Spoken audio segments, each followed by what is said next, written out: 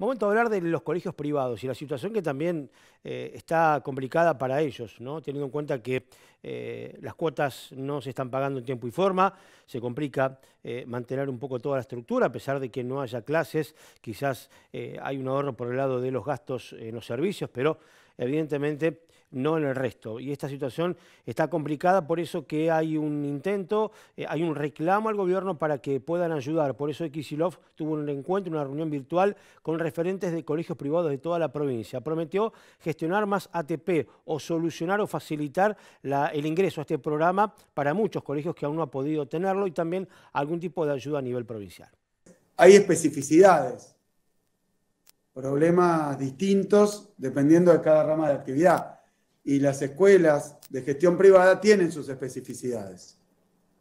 Y por eso les costó más acceder a un programa que desde nuestro punto de vista está diseñado para que las contemplen.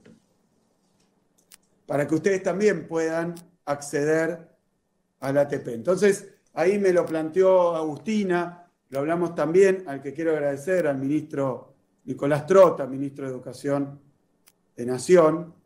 Le planteé el problema de las escuelas de gestión privada. Y quedamos en generar un canal lo más aceitado posible para que estas dificultades se zanjaran, teniendo en cuenta que es un programa nacional. Nosotros la estadística que sí tenemos es la que nos proporciona nuestro banco, el Banco de la Provincia de Buenos Aires, que nos cuenta que ha podido prácticamente más que triplicar en estos meses eh, el pago de ATP, la asistencia a escuelas de gestión privada. Yo me comprometo a hacer mayores esfuerzos porque todos los que corresponde que lo cobren lo tendrían que cobrar.